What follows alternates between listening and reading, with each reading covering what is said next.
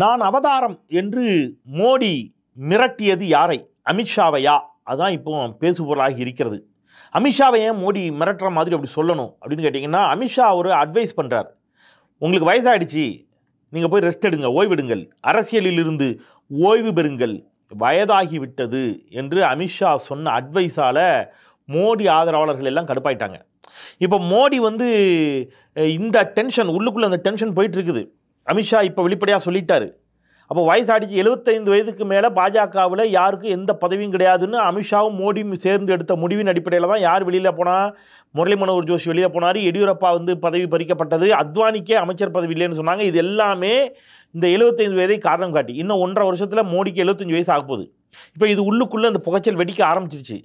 இதை தமிழ்நாட்டில் முதல் முதல்ல பேசியது நான் அதே மாதிரி இப்போ தேசிய அரசியல் அரவிந்த் கெஜ்ரிவால் இந்த பிரச்சனையை துண்டி கொளுத்தி போடவும் அரவிந்த் கெஜ்ரிவால் சொன்னது கட்சிக்குள்ளே வெடிக்க ஆரம்பிச்சது பாஜகக்குள்ளே இப்போ உள்ளுக்குள் வெடித்த அந்த பிரச்சனை வெளிப்படையாக வெளியில் வெடிக்க தொடங்கி விட்டது அமித்ஷா ஒரு செக் வைக்கிறாரு. என்ன செக்கு? வயசாயிடுச்சு ஓய்வு பெறுங்கள்னு.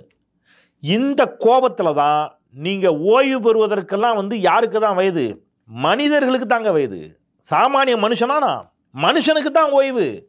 மனுஷனுக்கு தான் வயசு 75 வயசெல்லாம். நான் மனிதன் அல்ல. நான் கடவுளின் அவதாரம் அப்படின்னு மோடி வந்து அமித்ஷாவை மிரட்டி இருக்கிறார். இது இப்படிங்கிற ஒரு செய்தி இன்றைக்கு வந்து வந்திருக்கிறது. யார் தேர்ந்து வந்திருக்குது அப்படின்னு கேட்டிங்கன்னா ஏன் தேர்ந்து உங்களுக்கு வந்திருக்குது? அப்படி வச்சுக்கோங்க. சரியா?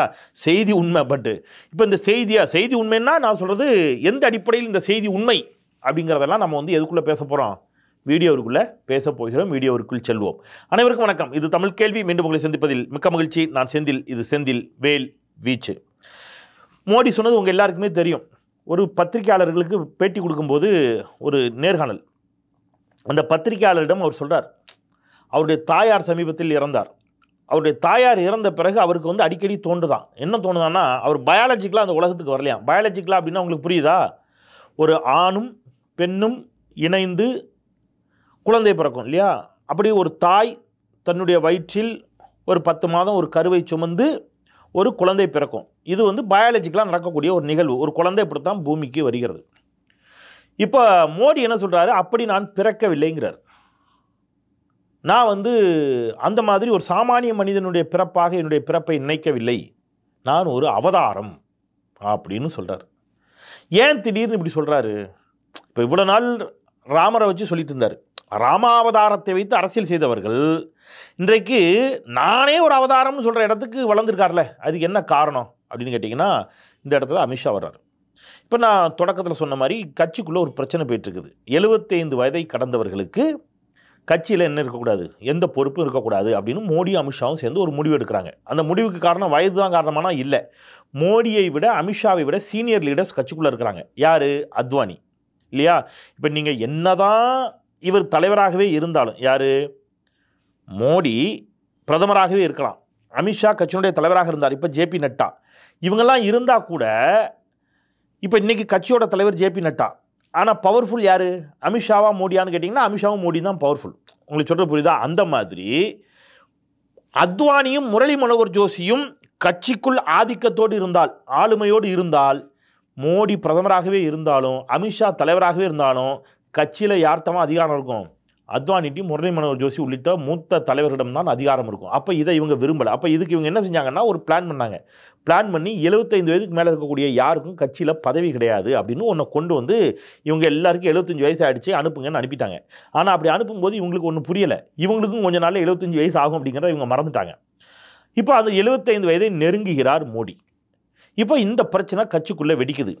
உங்களுக்கு கேட்பாங்கல்ல இப்போ அத்வானி ஆதரவாளர்கள் முரளி மனோகர் ஜோஷி ஆதரவாளர்கள் எடியூரப்பா ஆதரவாளர்கள்லாம் கேட்பாங்கல்ல எழுபத்தஞ்சு வயசு ஆயிடுச்சுல்ல அப்போ மோடியும் ரிட்டையர்ட் ஆக சொல்லுங்கள் அப்படிங்கிற பிரச்சனை ஒன்று இல்லையா? இப்போ இந்த பிரச்சனை வெடிக்க ஆரம்பிச்சது. இதை ஸ்மெல் பண்ணி தான் யார் பேசினா அரவிந்த் கெஜ்ரிவால் பேசினார். எழுபத்தைந்து வயது ஆகிவிட்டது மோடி பிரதமர் அல்ல.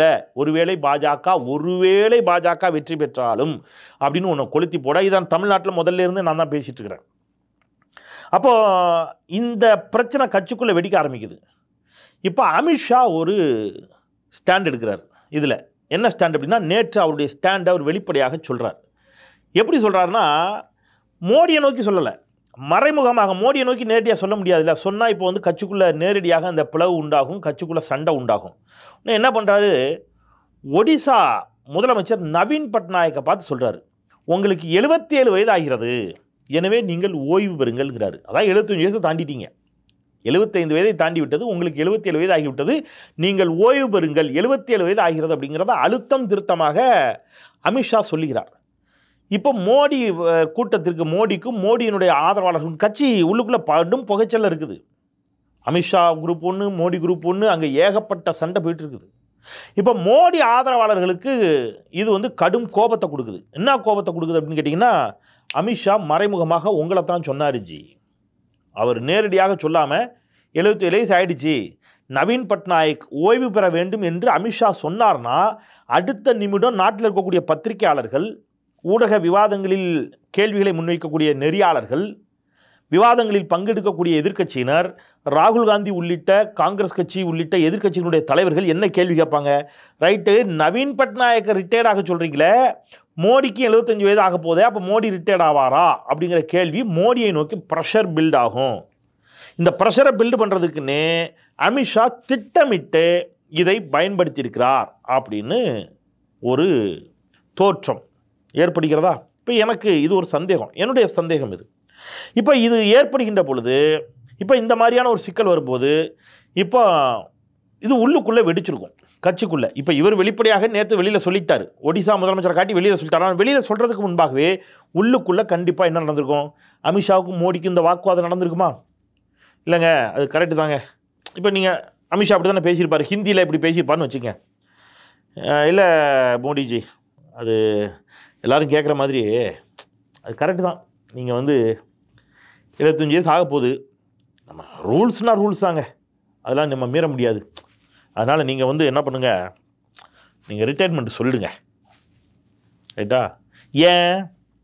ஏன்னா மோடி அந்த சேர்லேருந்து எந்திரிச்சு போனா தான் அந்த சேரில் வந்து யார் உட்கார முடியும் அடுத்தது? ஆ அமித்ஷாவோ யோகி ஆதித்யநாத்தோ அல்லது நிதின் கட்கரி ஆர்எஸ்எஸ்னுடைய ஆதரவை பெற்றிருக்கக்கூடிய நிதின் கட்கரி போன்றவர்கள் அந்த சேரில் வந்து உட்கார முடியும். இப்போ அவங்கெல்லாம் வெயிட் பண்ணுறாங்க இப்போ நீங்கள் நிதின் கட்கரிலாம் பார்த்தீங்களா இதுலையா தலையிடுறாரா பார்த்தீங்களா இவங்களுக்கெல்லாம் சீனியர் லீடர் வாயை திறக்காம உட்காந்துருக்காரு ஏன்னா நிதின் கட்கரிக்கு ஆர்எஸ்எஸ்னுடைய ஆதரவு முழுமையாக இருக்கிறது. ரைட்டா? அதுக்கு வேறு ஒரு காரணம் இருக்குது நிதின் கட்கரிக்கும் நம் மோடிக்கும் இருக்கக்கூடிய நூலிலை வேறுபாடு என்னங்கிறத நான் உங்கள் முடிவுக்கே விட்டுறேன் விட்டுருங்க புரிந்து கொள்ளுங்கள். இப்போ நிதின் கட்கர்லாம் வெயிட் பண்ணுறாரு வாங்க. சண்டை போட்டு வாங்க என்ன நடக்குன்னு பார்ப்போம் அப்படின்னு. இப்போ அமித்ஷா இதை சொல்கிறா உடனே மோடி என்ன சொல்லியிருப்பார்? அப்படிலாம் கிடையாதுங்க.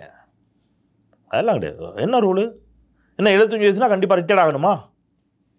கேட்டுப்பாரா அதானே ரூலு நம்ம போட்டோமே எடியூரப்பாவுக்கு முரளிபுரம் ஜோசிக்கெலாம் போட்டோம்ல அவங்கெல்லாம் மனுஷங்கங்க. ஆ அப்போ நீங்கள் நான் அவதாரம். மனிதர்களுக்கெல்லாம் மேலே நான் வேறு. இதுதான் இப்போது பிரச்சனை. ரிட்டையர்மெண்ட்டு ஆகிறதா இல்லையாங்கிற பிரச்சனையில் மோடி தன்னை என்ன செஞ்சிட்டாரு? அவதாரம் என்று அறிவித்து விட்டார். அதனால் இப்போ கட்சிக்காரங்களுக்கு மோடி என்ன சொல்கிறாருன்னா மற்ற தலைவர்களோடு என்னை ஒப்பிடாதீர்கள். நான் அதற்கெல்லாம் மேலே அப்படிங்கிற இடத்துக்கு போகிறார் இப்போ என்ன பண்ணுறதுன்னு உங்களுக்கு தெரில கொல்லிக்கட்டை எடுத்து தலையில் சுரிஞ்ச கதையா? இப்போ இவங்க எல்லாம் மண்டையை பிடிச்சிட்ருக்காங்க என்னடா இது? இவர் இப்படி திடீர்னு இப்படி கிளப்பி விட்றாரு எல்லாரும் ட்ரோல் பண்ணுறான்னுட்டு நேற்றுலேருந்து ஆரம்பிச்சிருச்சு. இல்லையா? என்ன இவர் இப்படி சொல்லிட்டாருன்னு. இப்போ இதில் இன்னொரு பிரதான சிக்கல் வருது இப்போ. இவர் தன்னை அவதாரம் என்று சொன்னவுடன் ஹிந்துக்களே தீவிர ஹிந்துக்கள் ஹிந்துத்துவாவை பேசுபவர்களே இப்போ கடுப்பாயிட்டான் ஹிந்துத்துவா பாலிடிக்ஸ் வச்சு தான் இவங்க வின் பண்ணாங்க. அவனே என்ன சொல்கிறான் என்னங்க இவர் இப்படி பேசுகிறாருன்னு ஏன்னா அதுக்கு கொஞ்ச நாளைக்கு முன்னாடி தான் பாஜகவுடைய ஒடிசா மாநிலத்தில் இருக்கக்கூடிய பூரி நாடாளுமன்ற தொகுதியினுடைய வேட்பாளர் பாஜக வேட்பாளர் ஒன்று சொல்லிட்டார். அவர் என்ன சொல்லிட்டாருன்னா மோடி வந்து பூரி ஜெகநாதரின் பக்தர்னு சொல்லணும். அவர் அப்படி சொல்லலை. அவர் என்ன சொல்கிறாரு பூரி ஜெகநாதரே மோடியின் பக்தர்ன்ட்டார். அப்போ மோடியை வந்து அவதாரங்கிறது ஆல்ரெடி அவங்களுக்குள்ளே பேச்சு வந்திருக்கு. மோடி சொல்லியிருப்பார்ல கூப்பிட்டு நான் அவதாரம்னு இருப்பார் இவர் பார்த்துருக்காரு ஓ நீங்கள் அவதாரமா? கரெக்டு தான். அப்போ பூரி ஜெகநாதரே உங்களுடைய பக்தர்னு நம்ம சொல்லி வைப்போம். நமக்கு ஏதாவது செய்வார் அப்படின்னு அவர் சொல்ல இப்படி பல குழப்பங்கள் ஹிந்துத்துவவாதிகளே அங்கே என்ன செஞ்சிட்ருக்கிறாங்க. ஒரு பக்கம் இருக்கட்டும். ஆனால் ப்ராக்டிக்கலாக இன்னொரு பக்கம் பார்த்தீங்கன்னா இது ஒரு கான்ஸ்பிரசி தியரி இப்படி வச்சுப்போம். இன்னொரு பக்கம் பார்த்தீங்கன்னா இதனுடைய இன்னொரு பரிமாணம் பார்த்தீங்கன்னா மோடி ஏன் இப்படி பேசினார் அப்படிங்கிறதுல இன்னொரு பக்கம் இருக்குது அது இது இது இது நான் சொல்கிறது இப்போ இப்போ சொல்கிறேன் இல்லையா? இது நான் இப்போ இவ்வளோ நேரம் சொன்னது கான்ஸ்பிரசி தியரி ஒரு ஒரு பல்வேறு அரசியல் இருக்கக்கூடிய பல்வேறு புள்ளிகளை இணைத்து பார்த்து இப்படி நடந்திருக்கும் என்று நான் வந்து யூகத்தின் அடிப்படையில் ஒரு சந்தேகத்தை பாஜக மீது வைக்கிறேன். ஆனால் நான் உறுதியாக நம்பக்கூடிய நான் உறுதியாக நம்புகிற பல வருஷமாக சொல்லிட்டு இருக்கக்கூடிய ஒரு செய்தியை இப்போ நான் உங்களுக்கு சொல்ல போகிறேன் மோடி தனி ஒருவன் படத்து தம்பி ராமையா அப்படின்னு அடிக்கடி சொல்லுவேன் ஞாபகம் வச்சிருக்கீங்களா? தொடர்ச்சியாக தமிழ் கேள்வி பார்க்குறவங்களுக்கு தெரியும். தனி ஒருவன் படத்தில் தம்பி ராமையாவுக்கு எதுவுமே தெரியாது. அரவிந்த் சாமி தான் அவரை இயக்குவார். அரவிந்த் சாமி அவரோட பையன். அப்பா சிரிக்காத. தலையை அப்படி கொஞ்சம் தூக்கி வச்சுக்கோ. நெஞ்சை நிமித்து வச்சுக்கோ. எதுக்கும் சிரிக்காத. அப்படியே போகணும். அப்படியே பார்க்கணும். அப்போ தான் உன்னை புத்திசாலின்னு நம்புவாங்க அப்படின்னு சொல்லுவார். அவருக்கு பேப்பரில் என்ன எழுதி கொடுத்தாலும் வாசிப்பார். தான் கட்சி தலைவரை பற்றி திட்டி எழுதி கொடுத்துருந்துச்சு. அதே வாசிப்பார். அவ்வளோதான் அவருக்கு தெரியும். தி சேம் தான் யார்? நம்முடைய நரேந்திர தாமோதர தாஸ். அதுக்கு நான் பல உதாரணங்களை சொல்கிறேன் எலெக்ஷனுக்கு எலெக்ஷன். நீங்கள் மறந்துட்டீங்க. நான் இப்போ நான் தெளிவாக ஞாபகப்படுத்துகிறேன் போன தேர்தலில் அவர் என்னெல்லாம் பேசினான்னு உங்களுக்கு ஞாபகம் இருக்கா? இதே மாதிரி சர்ச்சையாச்சு. நான் வந்து அப்பொழுதே இமெயில் அனுப்புனேன். வாஜ்பாய்க்கு. நான் வந்து புகைப்படங்கள்லாம் எடுத்து இமெயில் அனுப்புவேன்லாம் சொன்னார். அப்போ வந்து இளைஞர்கள்லாம் கேட்டான். இவர் சொன்ன வருஷத்தில் இமெயிலே கண்டுபிடிக்கப்படலையே. இவர் எப்படி இமெயில் அனுப்பியிருப்பார்? அப்படிங்கிற சந்தேகத்தெல்லாம் எல்லாரும் எடுத்தாங்க. ஞாபகம் இருக்கா உங்களுக்கு? அப்போ என்னென்னா மோடி வாயை திறந்தால் உளறி விடுவார். அதனால தான் மோடி பத்திரிகையாளர்களை என்ன செய்ய மாட்டேங்கிறாரு? சந்திக்க மறுக்கிறார். பத்திரிகையாளர் சந்திக்க மறுக்கிறார் என்பதை விட பத்திரிகையாளர்களை சந்திக்காதீர்கள் என்று அமித்ஷா உள்ளிட்டவர்கள் அவரை தடுத்து வச்சிருக்கிறாங்க. பத்திரிகையாளர்களிடம் பத்து நிமிடம் மோடி பேசினா மோடியுடைய உண்மையான என்னது திறமை என்ன? அவருக்கு என்ன தெரியும் அப்படிங்கிறது மக்கள் மத்தியில் அம்பலப்பட்டு போகும். நான் அதனால தான் அடிக்கடி சவால் விடுறேன். ஒரு அரை மணி நேரம் தமிழ்நாட்டில் வந்து மோடி பத்திரிகையாளர்களை சந்திக்கட்டும். இப்படி தான் பேசுவார். இப்போ பேசினார்ல இதெல்லாம் அவர் அறியாமல் அவர் உளர்றது. நீங்கள் இதுக்கு முன்னாடி இந்த மாதிரி நிறைய உளறி இருக்கிறாரு. நான் ரெண்டு மூணு சம்பவம் சொல்கிறேன் உங்களுக்கு. ஒரு பள்ளிக்கூடத்துக்கு இந்த மாதிரி கொஞ்சம் மாணவ மாணவிகளை வச்சு பேச விட்டுட்டாங்க. மாணவ குழந்தைகளோடு கலந்துரையாடல். மாணவ மாணவிகள் ஏதோ கல்லூரி மாணவ மாணவிகள் கூட கிடையாது குழந்தைங்க. குழந்தைங்களில் உரையாடணும்னு ஒரு வாய்ப்பு. கேள்வி முதலே சொல்லியிருப்பாங்க பதிலும் முதலே சொல்லியிருப்பாங்க. பட் அதில் ஒரு பிள்ளை என்ன கேட்டுடுச்சு? மோடிஜி த கிளைமேட் சேஞ்ச் இதை பற்றி என்ன நினைக்கிறீங்க? அப்படின்னு கேட்டுருச்சு அது காலநிலை மாற்றம் பருவநிலை மாற்றத்தை பற்றி அந்த குழந்தை அவ்வளவு தெளிவாக கேள்வி கேட்குது இவர் சொன்ன பதில் என்ன தெரியுமா? கிளைமேட் சேஞ்சுகே இப்போ இருக்கிற குழந்தைங்களுக்கெல்லாம் நோய் எதிர்ப்பு சக்தியே இல்லை. நான்லாம் சின்ன பிள்ளையா இருக்கும்போது வெயிலில் விளையாடுவேன் மழையில் விளையாடுவேன் பனியில் விளையாடுவேன் எல்லா கிளைமேட்லேயும் விளையாடுவேன். எந்த கிளைமேட்டுமே நீ ஒன்றும் செய்யாது. அதனால் நீங்கள் கிளைமேட் மாறுது அப்படின்னு நினச்சி பயப்படக்கூடாது. சீரியஸாங்க அவர் சொன்ன பதில். நல்லா சாப்பிடணும் நல்லா விளையாடணும். அந்த காலத்து ஆட்கள் நாங்கள்லாம் எப்படி தெரியுமா? அந்த காலத்தில் என்ன கிளைமேட்டாக இருந்தாலும் எங்கள் உடம்பு தாங்கும். உண்மையில் இப்படி பேசியிருக்கிறாரு. கிளைமேட் சேஞ்சுனா காலநிலை மாற்றம் பருவநிலை மாற்றத்தை விளைவுகள் என்ன? அது அடுத்த தலைமுறை எப்படி பாதிக்கும்னு ஒரு குழந்தை கேட்ட கேள்விக்கு the great one and only Narendra Damodardas சொன்ன புத்திசாலித்தனமான பதில் இது. இன்னமும் மீடியாவில் இருக்குது யூடியூப்ல இருக்குது. எடுத்து பாருங்க. கூட கொஞ்சம் கேள்வி கேட்டார் கரண் தப்பார். உங்களுக்கு ஞாபகம் அந்த பேட்டி? பனி பனி அப்படிம்பாரு தண்ணி அவன் தண்ணி கொடுத்த உடனே போதும். ப்ளீஸ் நோ ஏன்னா எந்த கேள்விக்கு என்ன தெரியாது? பதில் தெரியாது. இதை விட ஒரு காமெடி சொல்லட்டுமா? வெளிநாடுகளுக்கு சுற்றுப்பயணம் போனார்ல. ஃபஸ்ட்டு முறை ரெண்டாயிரத்தி பதினாலு டு ரெண்டாயிரத்தி பத்தொன்பது ஆச்சுக்கலாம் அப்போ இதே மாதிரி ஒரு நாட்டுக்கு போகிறார் அந்த நாட்டுக்கு போனோடனே அந்த நாட்டில் நிற்கணும் அந்த நாட்டினுடைய இராணுவ அணிவகுப்பு மரியாதை கொடுக்குறாங்க. அவங்க வந்து இந்திய பிரதமர் வந்திருக்கிறார் என்பதற்காக இந்திய நாட்டினுடைய நம்ம நாட்டினுடைய நம்ம தேசிய கீதம் நம்முடைய பெருமைக்குரிய தேசிய கீதத்தை அவர்கள் இசைக்கிறார்கள். தேசிய கீதம் இசைக்கும் போது எல்லாரும் என்ன செய்யணும்? நிற்கணும் இல்லையா? நமக்கு தான் நீ அதெல்லாம் தெரியாத. அங்கே கேமரா நிற்கி நம்மால் சிங்க நடை போட்டு சிகரத்தில் ஏறுங்கிற மாதிரி நடக்க ஆரம்பிச்சிட்டாரு. அந்த நாட்டு அதிபர் போய் பிடிச்சி இழுத்துட்டு வராரு ஹலோ ஜி இது உங்களுடைய நேஷனல் ஆந்தம். உங்கள் தேசிய கீதம் பாடத்துக்கு வந்து நில்லுங்க. நீங்கள் சார் நடந்துட்டு இருக்கீங்க. அப்படின்னா ஓ அப்படியா? நான் நிற்கணுமா ஆ ஓகே நின்றுக்கிறேன் அப்படின்னு போய் நிற்பார் இதெல்லாம் யூடியூப்பில் இருக்குது. எடுத்து பாருங்கள் தன்னுடைய நாட்டு தேசிய கீதம் போடுகின்ற பொழுது தான் நிற்க வேண்டும் என்று கூட அவருக்கு தெரியாது. அவர் பேசாட்டு நடப்பார். இவரைத்தான் இவங்க அசகாய சூரர்கள் ஐம்பத்தாறு இன்ச்சு மார்பு இவரை விட்டு அடிச்சுக்கிறதுக்கு ஆள் இல்லைன்னு ஒரு தோற்றத்தை ஏற்படுத்தி வைத்தார்கள். அந்த தோற்றம் கலைந்து விடக்கூடாது என்பதற்காகவே அவரை பத்திரிகையாளரை சந்திக்க விட மாட்டாங்க. அதையும் தாண்டி பத்திரிகைக்காரங்க கொஞ்சம் பேர் பிடிச்சாங்க இடையில. கேமராவை பார்த்து உடனே கேமரா இருக்குன்னு அதை நோக்கி வந்தார். கீழே அந்த மைக்கை மேலே தூக்குனால மைக்கை பார்த்த உடனே ஓ மை காட் அப்படின்னு பறந்து ஓடினார். ஞாபகம் இருக்கா? அவர் கேமரா வந்து அவரை ஈர்க்கும். கேமராலாம் இருக்கு. நிறைய கேமரா அப்படின்ட்டு அந்த பக்கம் போனார். அவன் பத்திரிகைக்காரன்னு தெரியல. அவன் எல்லாம் மைக்கை கீழே வச்சுட்டுருக்கான். அவனுக்கு ஆச்சரியம். மோடி வரமாட்டார்னு நினச்சோம் வந்துட்டாருன்ட்டு கேள்வி கேட்குறதுக்கு மைக்கை நீட்டினால ஓ பத்திரிகைக்காரங்களா? Oh ஓமே காட் அப்படின்ட்டு ஓடிட்டார். ஏன்னா அமித்ஷா சொல்லி வச்சுருக்காரு. பாரு பத்திரிகைக்காரங்கிட்ட மட்டும் நீங்கள் வாயை திறந்தீங்க. அவ்வளோதான் மாட்டிப்பீங்க. இப்படி அவருடைய அவர் அவர் அவர் நான் சீரியஸாக சொல்கிறேன் அவருக்கு வந்து நிறைய நிகழ்வுகள் அப்படி அவருக்கு அவருக்கு சொல்லலாம். நீங்கள் ஐநா சபையில் எதையோ உரையாற்றுகின்ற பொழுது டெலிபிராம்டர் ஆஃப் ஆயிடுச்சு. அப்படியே நின்னார். தேஷ்மே கோ ஹமாரா கிட் கிட்னா இப்படியே சொன்னார். ஆஃப் நிமிட்டானுல போச்சே இப்போ நான் எதை பேசுவேன்? நான் யூடியூப்பில் இருக்க தட்டி தேடி பாருங்கள் அதனால்தான் நான் சொல்லுகிறேன் மோடி தன்னுடைய கல்வி தகுதியை கூட இந்த நிமிடம் வரை வெளியில் பகிரங்கமாக ஆதாரங்களோடு சொல்லவில்லை. மோடி என்ன படித்திருக்கிறார்? பிஏ படிச்சிருக்கார் எம்ஏ படிச்சிருக்கார். சர்டிஃபிகேட்டை கொடுங்க. நோ தரமாட்டோம். ஏன் தரமாட்டீங்க? தர முடியாது. அவன் ஆர்டிஐயில் போட்டு தகவல் கேட்குறான் சர்டிஃபிகேட்டை கொடு. தர முடியாது. ஆனால் மோடி படிச்சிருக்கார் நீ நம்பணும். இவர் தான் மோடி. இப்போ இப்போ பேட்டியில் நடந்ததெல்லாம் என்ன நினைக்கிறீங்க?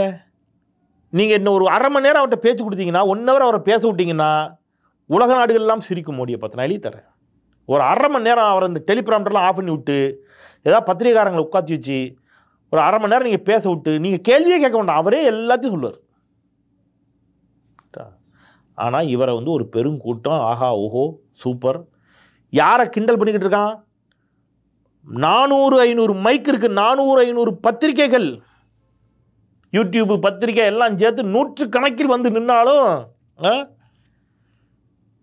துணிச்சலோடு நின்று அத்தனை கேள்விகளுக்கும் பதில் சொல்லுகிறார் ராகுல் காந்தி. ராகுல் காந்தியை பார்த்து இவங்க பப்புன்னு கிண்டல் பண்ணுறான் ஒரு பத்திரிகைக்காரங்களுடைய கேள்வி கூட பதில் சொல்ல முடியாமல் பயந்து ஓடுகிற மோடியை அசகாய சூரர்னு சொல்கிறான் அதான் நடந்தது. இப்போ மோடி வேற இன்னொரு பக்கம் பீதி. ராகுல் நார்த் இந்தியாவில் பண்ணுறது இருக்குல்ல? அவர் அடித்து பிச்சு போயிட்டுருக்கார். நேற்று என்ன பண்ணார்? டெம்போவில் ஏறி வேலையில்லாத இளைஞர்கள் எல்லாம் டெம்போவில் ஏற்றிட்டு அவங்களோட ஒரு உரையாடல். டெம்போவில் ஏன் உரையாடினார்னு கேட்குறீங்களா மோடி தான் சும்மா இல்லாமல் சொன்னார். அதானி அம்பானியை பற்றி ராகுல் காந்தி இப்பொழுதெல்லாம் பேசுவதே இல்லைன்னாரு. அவர் டேட்டோட அடிக்கிறார் எத்தனை எத்தனாம் தேதியில் எவ்வளோ நாள் நான் பேசியிருக்கேன் எல்லாத்தையும் எடுத்து முன்னாடி போட்டு நீங்கள் தான் பேசலேன்னாரு. அதானி அம்பானியிடமிருந்து நீங்கள் டெம்போவில் பணம் வாங்கி விட்டீர்களான்னாரு. ராகுல் காந்தி கேட்டார் ஓ டெம்போ நிறைய பணம் கொடுக்குற அளவுக்கு அதானிட்டையும் அம்பானிட்டையும் பணம் இருக்குதுங்கிறத மோடி ஒத்துக்கொண்டார் என்றால் நன்றி மகிழ்ச்சி. அந்த பணம் எங்கிருந்து வந்துச்சுன்னு கேட்டு இடி சிபிஐ எல்லாம் அவர் வீட்டுக்கு ரைடு விட சொல்லுங்க பார்ப்போம்னார் ராகுல் காந்திக்கு பணம் கொடுத்தீர்களா என்று இடியை சிபிஐயை அதானி வீட்டுக்கும் அம்பானி வீட்டுக்கும் அனுப்பி இடியையும் அம நம்ம சிபிஐயும் அனுப்பி சோதனை போட்டு மோடியை கண்டுபிடிக்க சொல்லுங்கன்னார். அதோடு அதை நிப்பாட்டிட்டார். இப்போ அவர் இந்த டெம்போ பிடிச்சிக்கிட்டார். மோடி டெம்போ என்று சொன்னாரே பணம் ஏற்றி வந்ததாக. அந்த டெம்போவில் நான் பணத்தை ஏற்றி வரவில்லை. இதோ இந்த நாட்டினுடைய வேலையில்லாத இளைஞர்களை ஏற்றிக்கொண்டு நான் அவர்களோடு உரையாடி சென்று கொண்டிருக்கிறேன் என்று வேலையில்லாத பட்டவாரி இளைஞர்களை டெம்போவில் ஏற்றி அவர்களுடைய வாழ்க்கையில் அவர்கள் சந்தித்துக் கொண்டிருக்கக்கூடிய சிக்கல்களை பற்றி அவர்களோடு உரையாடத் தொடங்கிவிட்டார். நார்த் இந்தியாவில் இன்றைக்கி வந்து நிலைமை கம்ப்ளீட்டாக சேஞ்ச் ஆகிட்டு இருக்குது ஸோ இதுதான் நிலைமை. இந்த அடிப்படையில் மோடி தன்னை அவதாரமாக உணரத் தொடங்கி விட்டார் மகிழ்ச்சி. இன்னும் என்னெல்லாம் பார்க்கணுமோ தெரில நாட்டில் நாடும் நாட்டு மக்களும் இன்னும் எதையெல்லாம் பார்க்க போகிறார்களோ பார்க்கணுமோ எழுதி வச்சுருக்கோ தெரியல. நான் ஒரு செய்தி சொல்கிறேங்க இங்கே சில தலைவர்களுக்கு ஜெயலலிதா மீது கொண்ட பாசத்தில் இது மாதிரிலாம் நிறைய பண்ணியிருக்காங்க. என்ன பண்ணிடுவாங்கன்னு கேட்டிங்கன்னா அம்மன் உருவம் இருக்கும். அம்மனுடைய முகத்துக்கு பதில் அரசியல் தலைவர் வச்சுருவாங்க. ஜீசஸ் கிறிஸ்துக்கு பதில் ஒரு அரசியல் தலைவர் வச்சுருவாங்க. ஒரு முகத்தில். நீங்கள்லாம் பார்த்துருக்கீங்களா? இந்த மாதிரி இப்படிலாம் பண்ணும்போது இங்கே இருக்கக்கூடிய ஹிந்துத்துவ அமைப்புகள் கடும் எதிர்ப்பை பதிவு செய்திருக்கார்கள் எப்படி எங்கள் தெய்வங்களை நீங்கள் வந்து இப்படி வந்து இழிவுபடுத்தலாம்? எப்படி நீங்கள் வந்து ஒரு சாமானிய மனுஷனை கொண்டு போய் கடவுள் முகத்தில் வந்து கடவுள் உடம்புல ஒட்ட வச்சு அவங்கள கடவுளாக காட்டுவது மிகப்பெரிய தவறு. அது ஹிந்து மதத்தை நீங்கள் கொச்சைப்படுத்துவதற்கு சமம் என்றெல்லாம் கொந்தளித்த ஹிந்து மத பற்றாளர்கள் ஹிந்து மத காவலர்கள் எங்கே என்று தேடிக்கொண்டிருக்கிறேன். நீங்கள் ஒருவேளை கண்டுபிடித்தால் எனக்கு தகவல்களை சொல்லுங்கள் என்று சொல்லி தமிழ் கேள்வி சப்ஸ்கிரைப் பண்ணிங்க. சப்ஸ்கிரைப் பண்ணி பாருங்கள் உங்கள் ஆதரவை தாருங்கள் என்று கேட்டு விடைபெறுகின்றேன். குரலற்றவர்களின் குரலாய் நான் செந்தில். நன்றி.